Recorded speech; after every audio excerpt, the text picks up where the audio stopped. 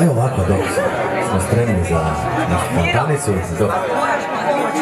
Iščekujemo taj šampanjac da isprobamo, to da vidimo se čujemo. Evo da pozdravim dragi ljude. Danas smo svi neki poznati. Možda i najpoznati. Bravo!